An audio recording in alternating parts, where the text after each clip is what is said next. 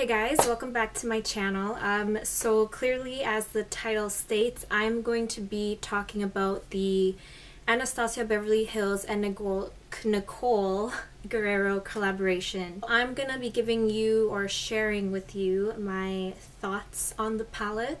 I've really been uh, putting off filming this video. I just didn't make the time for it and I was so anxious because I really wanted to use this palette. I really wanted to see what I would think about it because I did obviously check out other videos and I heard other people's opinions on it but I always like checking it out for myself because you know different people like different things so just because one person says it's good or the other one says it's bad doesn't really mean that's how you're gonna feel. Before I get to reviewing it, um, this is it right here, I have it in my hand, um, I will be sharing my unboxing with you so check it out.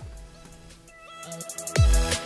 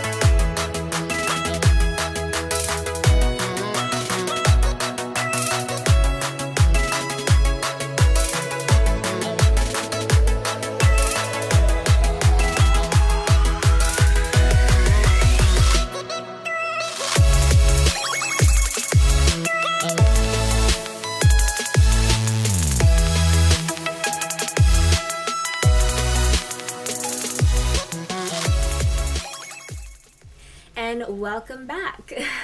Alright, so clearly as you guys saw there was no shattered uh, shattered pieces or bits that were falling out of my palette. It was all in one piece. The packaging is gorgeous, really hard material, not like a plastic. It's not too heavy. I tend to like these materials better because they don't feel as cheap. Not to put down any plastic palettes out there, but I just feel like this is much more pleasing to the touch. And then of course, Nicole Guerriero's name is written here across the bottom in some nice big font. So once you open this up, it's more like a closing, like a snap closing effect. It's not like other palettes where you have to dig your nail in there and just open it up. So as you can see here, we have a huge selection of colors. We have Kitty Cat, Forever Young, Daydream, uh, Forever Lit, Glow Getter, and 143. Just before I forget to mention, quick glance, there are some glitter particles in there.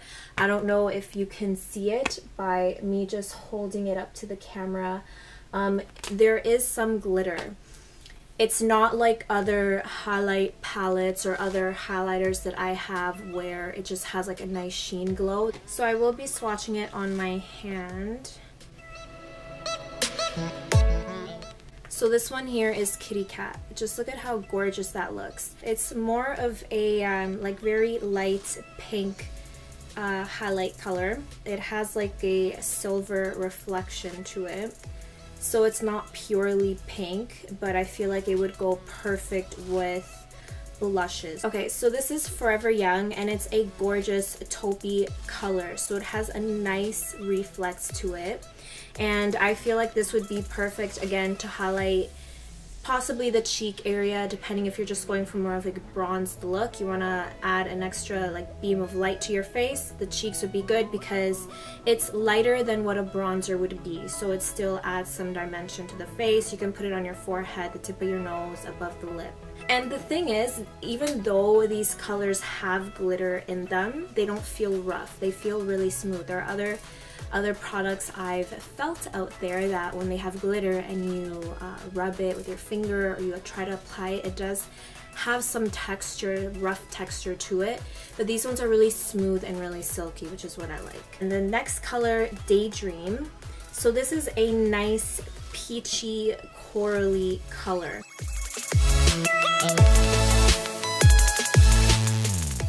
I would say uh, Kitty Cat and Daydream are more to add extra glow to the cheeks, not necessarily have like a noticeable streak of highlight on the face because it would blend in with your blush colors. But I feel like that would be the whole point, especially in the summertime if you're going more for like a glowy look. You want your whole face to glow. Those colors would be perfect to mix with blush because it would just enhance the glow on your cheeks and just make you look more sun-kissed. Okay, now this next color I definitely would not use to highlight my face, especially because I am more of a medium tone kind of girl. I would avoid this at all costs. I do not want this on my face because if you've seen pretty previous videos of mine, you know that I don't like that noticeable white gray streak on my face. But it's still a nice color to have. So this here this is Forever Lit and it's very, very pigmented as you can see. It's super, super blinding. Um, perfect for those that like that blinding highlight. I would definitely only use this to highlight my brow bone, the inner tear duct, and my eyelids. But I noticed that there is some sort of purple reflex under there. It looks more of like a purpley, pearly white, I would say, like a pearly white with some purple in there. It could just be me, I don't know, but that's what I see out of it. Now these next two colors I would definitely use to bronze up the face, especially for minimal makeup looks. I feel like these ones would be gorgeous. I'll start off with Glow Getter. This one is more of a goldy bronzed highlight and it looks like that. I wouldn't wear this with a blush, let's say if I'm going more for a bronze look. You just want to bronze, you want to add this to like the areas that the sun would hit naturally just to make you more glowy and have that glowy goddess look. Following Glow Getter we have 143 and this one's a darker uh, bronzed gold color. So this one's more of like a brown. The other one was more gold. It looks gorgeous on my hand and it actually gives my hand like a nice wet look to it. So some final thoughts just on swatching them and showing them to you guys. I really like how it feels. It's super soft despite the glitter. There isn't any rough textures in the colors and I feel like the pigmentation is really really good. Like just by you guys judging for yourselves like I'm sure you can see that it's really strong. So I would definitely try to use a light hand while applying it on the face but at least you know that you can definitely get strong highlight payoff with this palette because other highlighters out there you really have to keep building and building. This one if anything you have to minimize especially if you don't want something so strong and in your face. Of course I'm going to try these on right here in front of the camera for you guys. I did my makeup but I did not highlight and I purposely used a matte blush because I was thinking of using this other blush that I have but it does have um, some shimmer to it so I didn't want to take away from these guys here. I really wanted to see the full effect, so I made sure to do my makeup really matte today, except for my lids because I wanted it to glisten and blend in with all this highlight I'm going to be adding. And I'm also going to add it to like my shoulders and my chest area just to see, you know, the full effect of it. Okay, so because I have a coral blush going on, I would probably use Daydream to highlight my cheek area. I'm going to be using this Morphe R33 highlight brush.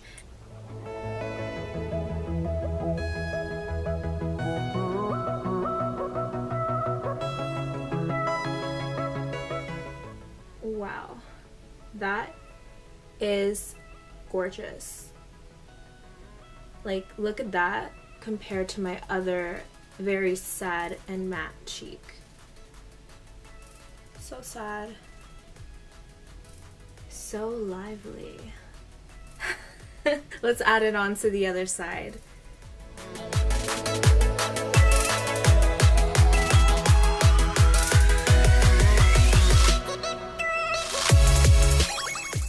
And again, I used um, Daydream and it's more of that corally peach highlight and it blends in really nicely with my blush. But yeah, I really, really love this. Now for my forehead, my nose, my lip I'm going to use a different color. See if I can get a little closer for you guys. Oh.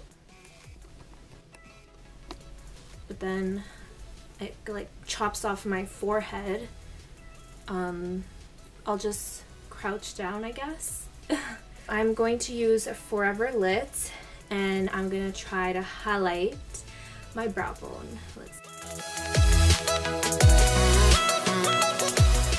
That's an intense highlight. Now this brush is too fat.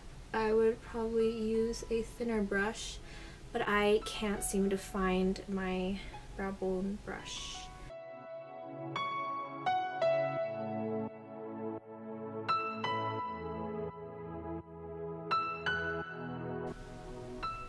Next, let's move on to highlighting the forehead. I am going to use this brush. This is a uh, Bdellium Tools 788 brush. Because my look isn't so much cool toned, I am going to go for the warmer shade, which is Glow Getter.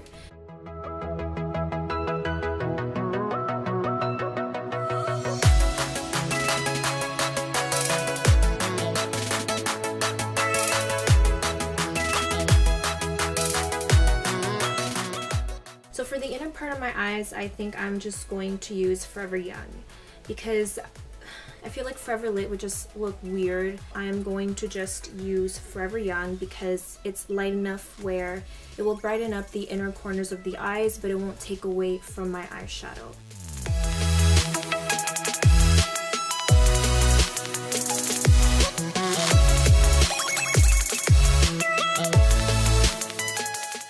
Okay, so that instantly highlighted. Next, I'm going to highlight the tip of my nose and I'm going to use this uh, Crowned Crown Brushes uh, C209. I am going to use a Glow Getter again.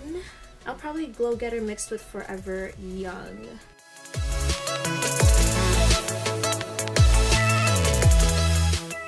That's bright. I'm just gonna add the rest onto the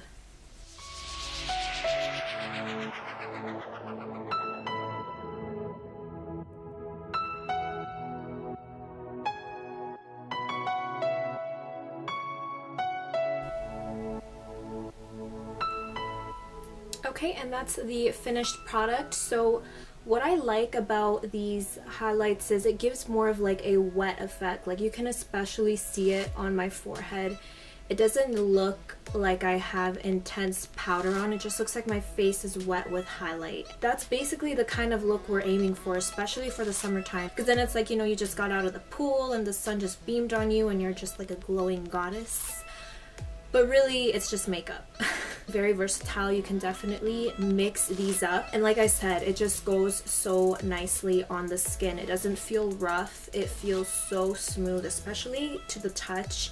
And it has a nice wet effect, which is something I feel we're all aiming to achieve. This palette is definitely a hit for me. I mean, again, it's just my opinion. For other people, it may work differently, but for my skin tone, and what I have envisioned right now in my mind, especially for the spring and summer season.